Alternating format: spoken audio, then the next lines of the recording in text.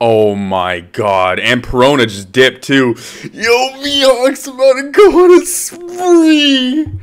Oh my god. Navy shish kebab sushi.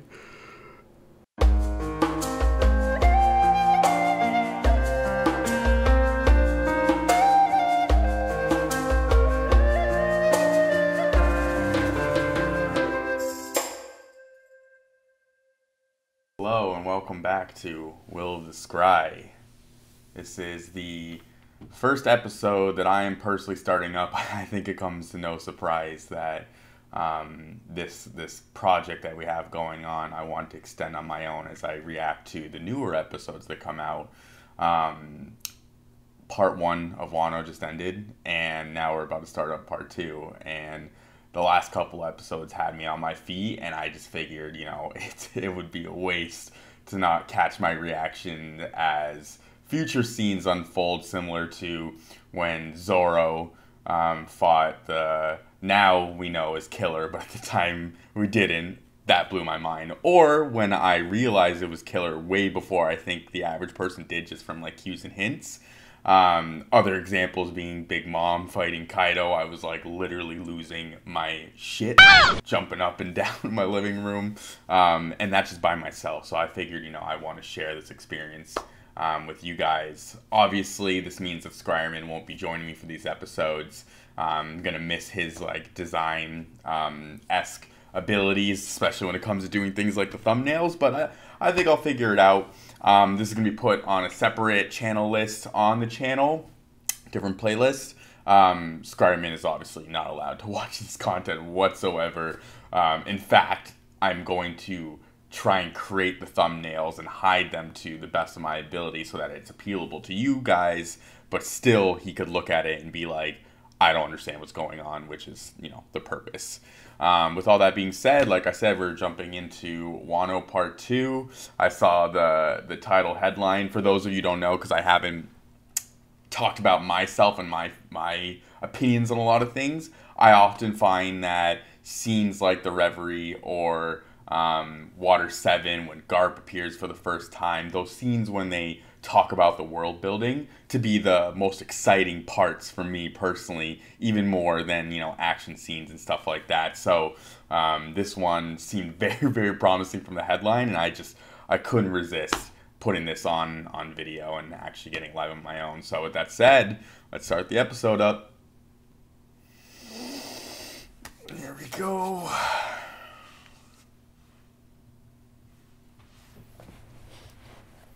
Oh shit.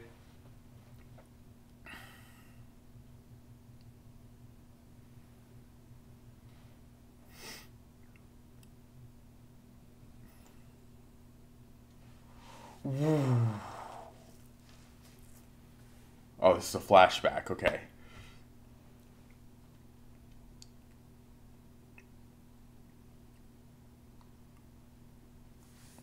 Thought he was on the ship with him for a second.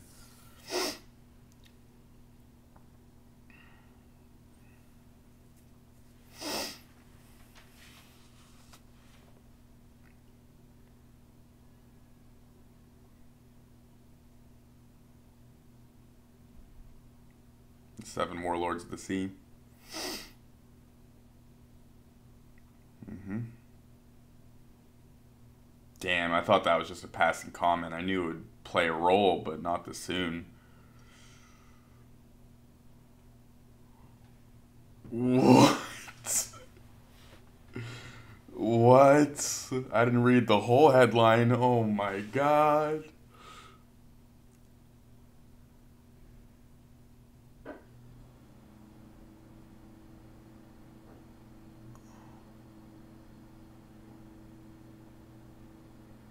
Damn, got some gray hair in him now.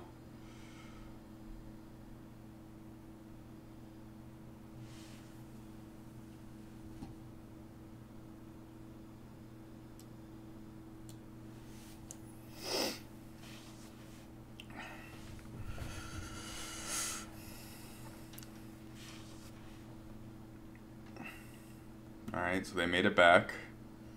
Shirahoshi's not kidnapped.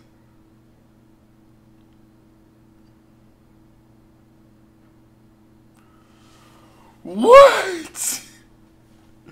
Yo, let's go. I love that she addresses him as Luffy's grandpa.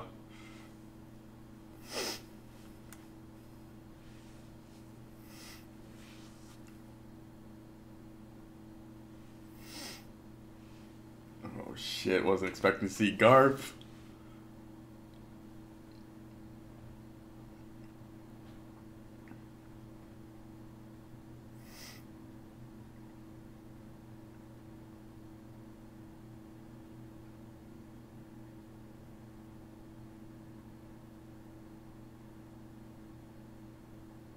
Hmm.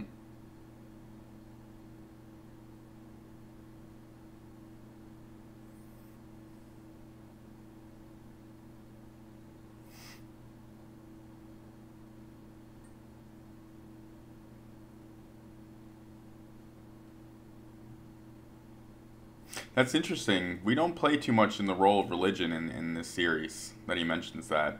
I feel like it's not brought up a lot.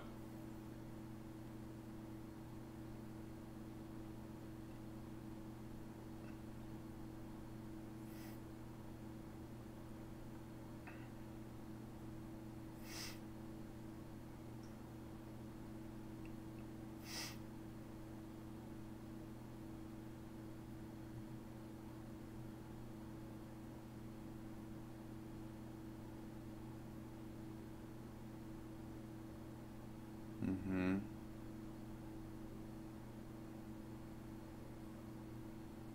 Hmm.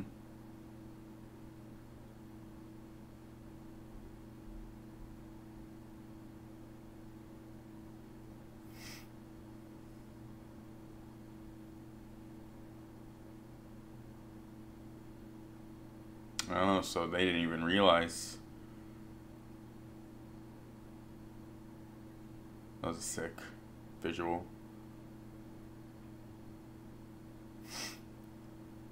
Oh shit.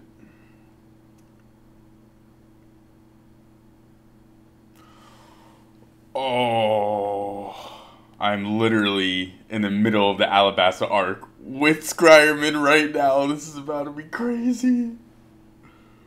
Oh shit. All right, so we know that the that Vivi's family have ties to one of the great weapons, similar to Shirahoshi, who's a different one. This guy.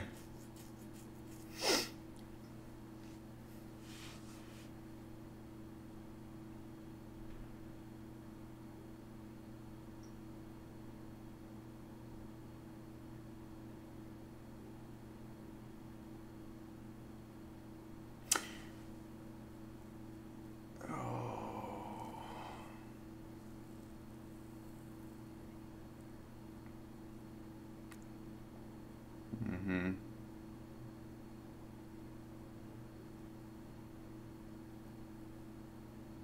The animation is like really up for the scene to be about newspaper and reporting. Like this is he looks so animated and cartoony.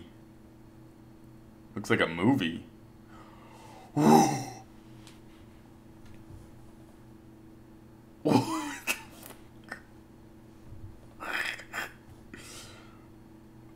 This looks like a movie.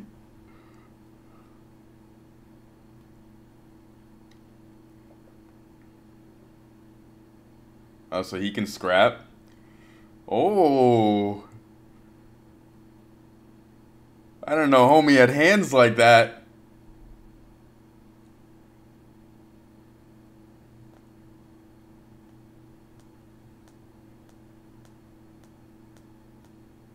Wow.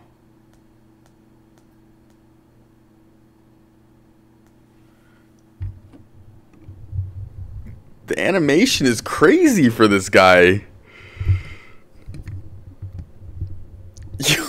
I'm getting serious light vibes right now from those eyes. Oh, this is what I'm talking about. These episodes, bro. These are my kind of episodes.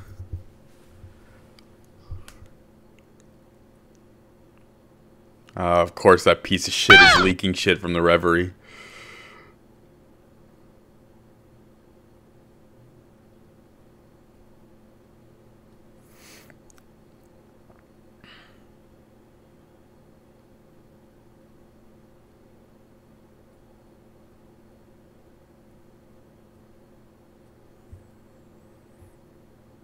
What is going on?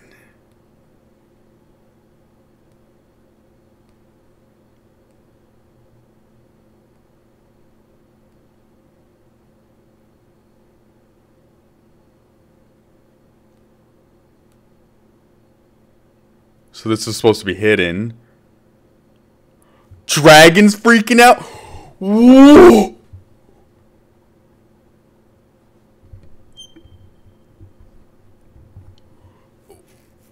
Yo, all the revolutionaries are freaking out. All right, I'm fucking anxious right now.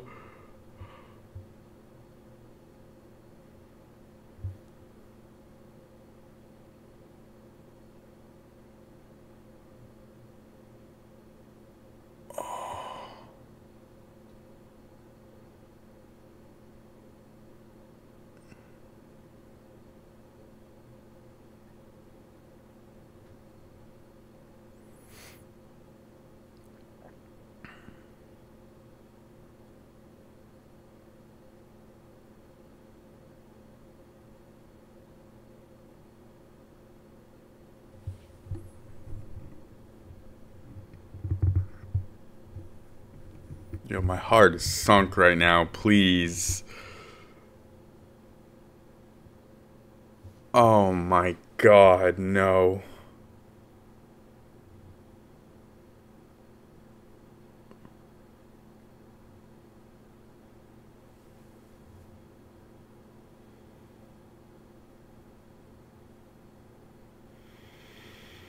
How does he get access to newspapers like that?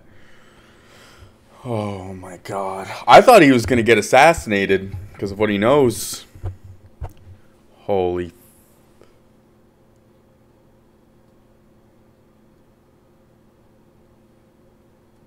Damn, this has got Blackbeard. Yo, he looks fresh. I hadn't seen that beard yet. He actually has a beard now. Hold up. Sabo is dead? Is this the Crow Revolutionary? No, this is Wano.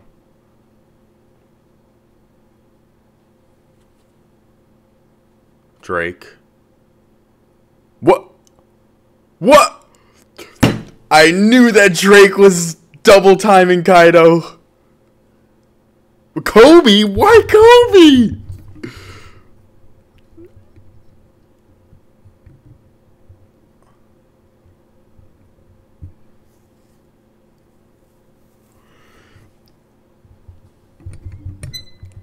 What the f- Oh my god. Let's go. I mean, that one was kind of obvious that he was two timing, but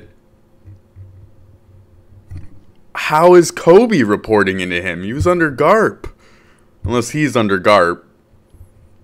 Oh my god, man. This is nutty. And Koby's a captain. He's the title of captain, so.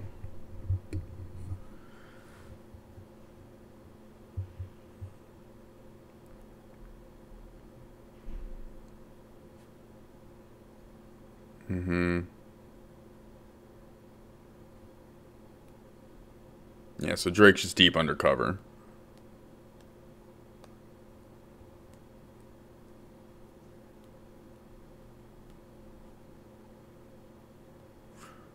Koby's really become a big shot that he's the confidant here.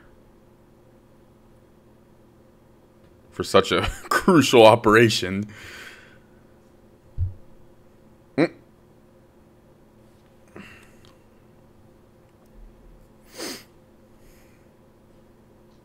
Okay, so this is actually supposed to be low key even for the Navy. Has to be vetted through GARP, I guarantee you.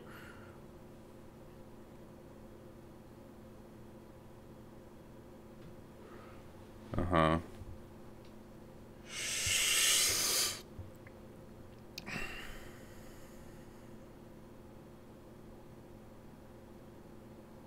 Mm hmm.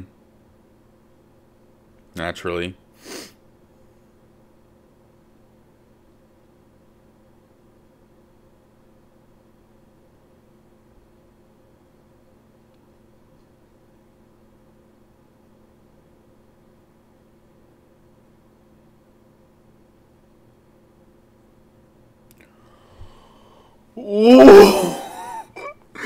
Was just watching the openings and and wondering why they they had focus on the seven warlords.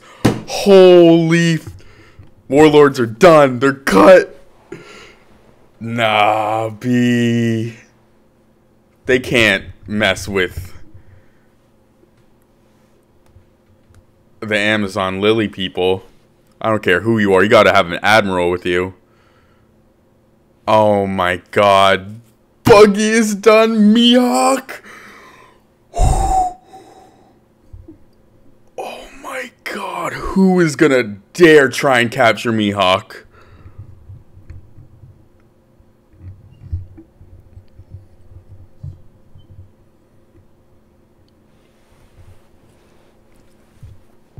What on earth?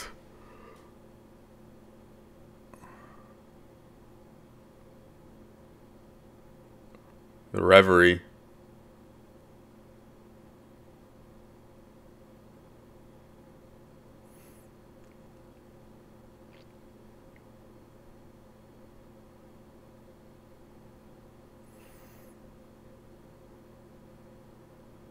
I mean, there's hardly any of them left. Luffy single handedly either recruited them or destroyed them.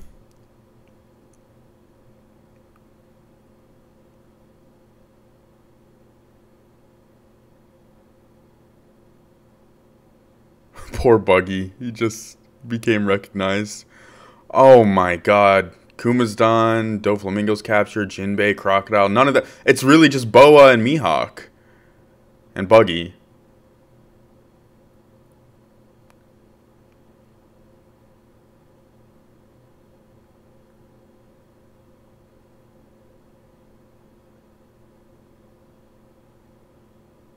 This is crazy that this is what I'm watching with Scryerman right now. Like, we're about to... Yep.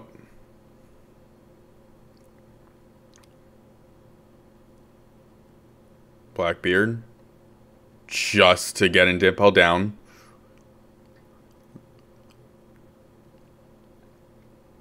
Mm-hmm. Jinbei. Now with the Straw Hats.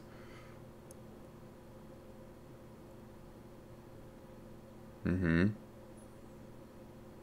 Moria, kaput.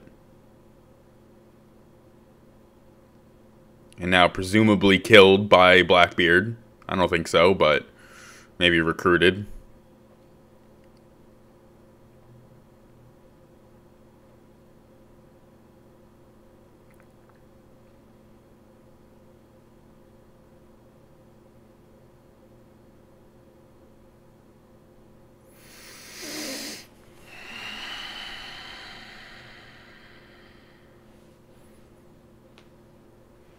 That's probably the world government's ties. It's to Kaido and to Doflamingo who's the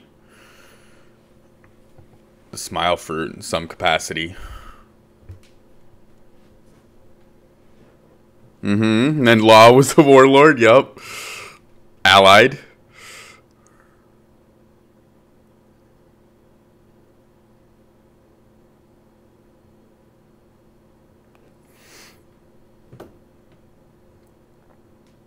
This is nuts.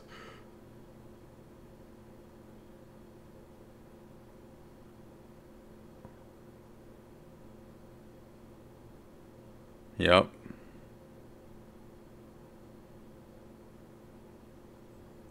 Mm-hmm. Naturally.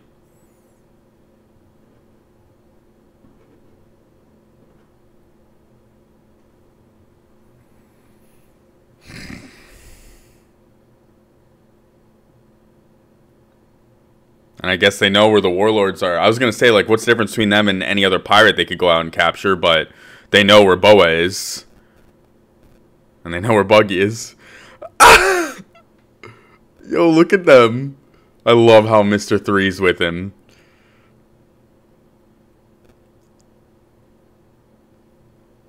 Oh my god.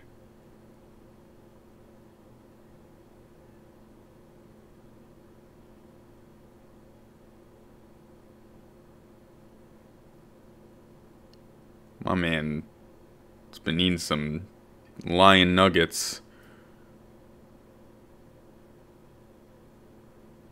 Oh yeah, I forgot this guy joined the Warlords.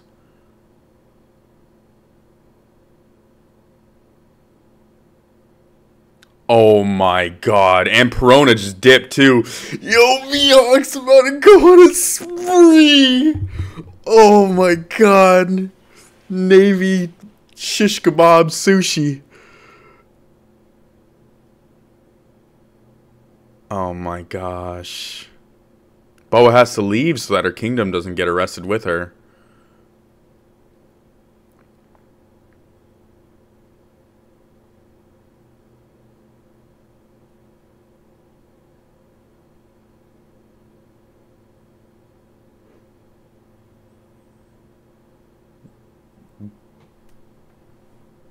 Buggy stepped up, I can see. Ooh, I love his new design. True. Alvida, Mr. 3. Yeah, and he's got all the homies from Impel Down. He doesn't have that much to be afraid of, even if he's not particularly strong. This is nuts. Full on, like, barrier stampede. I mean, yeah, they're not the warlords for nothing.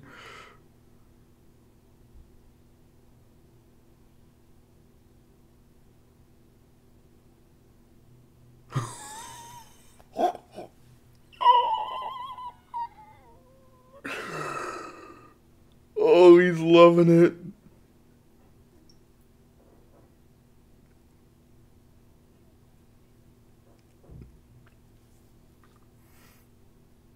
Wow, Alvida looks different too.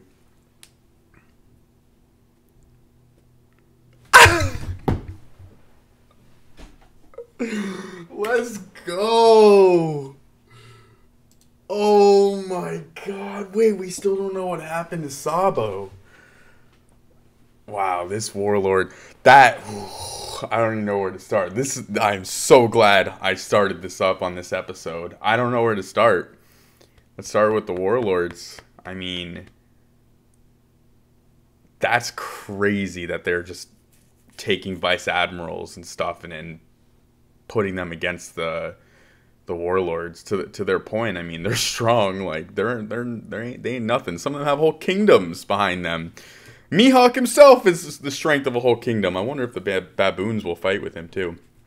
That's crazy how everything unpacked like that, where you oh, I love the writing of this whole scene, right? Like it starts off with that really tragic, it sounds like tragic news with Sabo. Actually, even before that, just you know that there's rumblings from the reverie that happen. You don't know the, little details, and you start to pick up on things. You know there's something happening with the warlords. You know that there's something um, happening with uh, with the revolutionaries, but they don't actually. It, it all starts intermingling, and then you know something's happening with Kaido and the world government, and then and then Koby is talking to Drake, and that's one mind blowing reveal. And then in the middle of that, you find out that he's going to Boa Hancock's island, and that's when they reveal that they're going to go take them down. That this is nuts. It makes total sense that um, the Nefertari family, as well as the the kingdom um, that uh, Doflamingo governed, they would want to abolish the warlord system. It makes sense that a lot of other kings went along with it, and it makes sense that the government wanted to cover that up so that the warlords didn't um, get the heads up. But that is obviously what Wapol had, you know, given the, the heads up to Morgans, the, the, the reporter on, wow, this is nuts. I love that Buggy had such a big like front for a second there, and I was like, all right, like maybe he is stepping up, but no, it's, it's the same old Buggy. Do love his character design. I, I think he's Um, really, really cool now, and I love how Mister Three and Alvida are still kind of kicking it with him, and he still has all those pirates from um, uh, Impel Down. So curious to see what happens with the island of uh, Boa Hancock's Amazon Lily and how they handle um, Koby. And it looked like there were some notable vice admirals there that I recognized from the war and just like past stories and stuff like that on their way. Um, Mihawk, it's not even like. I'm glad Perona's gone, so she's not caught up in like the the the craziness of it. But like, bruh, I'm so amped to see how Mihawk is now forced into the limelight. He's always been doing his own thing on the, on the on the side, um, but never had to do anything unless it was like super government mandated, like the War of the Best against Whitebeard. Um, but now he's he's he's a pirate again. Like he has to pledge his allegiances. Can you imagine if he if he linked up with Shanks? I mean, that's his like closest friend. Oh my God, there's just so much to to take in here. Sabo, I I don't think he's dead. I mean, we've already we've already dealt with that one time where you thought he was dead as a kid. It was kind of obvious that he wasn't gonna be. Still made me verge of cry, if not actually cried. I can't remember when he did get revealed, even though it was obvious.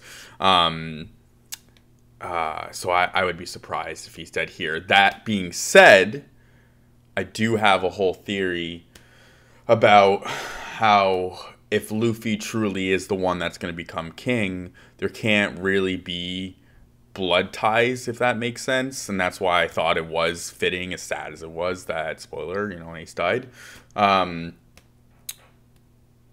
if the son of Gol D. Roger was alive, it wouldn't make sense for someone else to become the king. Was kind of like my headspace with it. So Sabo being alive, even though he's a revolutionary, totally different aspect, totally different side of things and what he his goals and personal achievements are. Um, but you know, it also makes sense even if he's not dead that he'd be reported as such. Because I mean, why why would you if you're trying to make a, a stamp or a staple amongst the world government and say you're actually taking a hit at the, at the revolutionaries, even if you have him captured, it wouldn't make sense to say you had him captured. It makes sense to say that you killed him.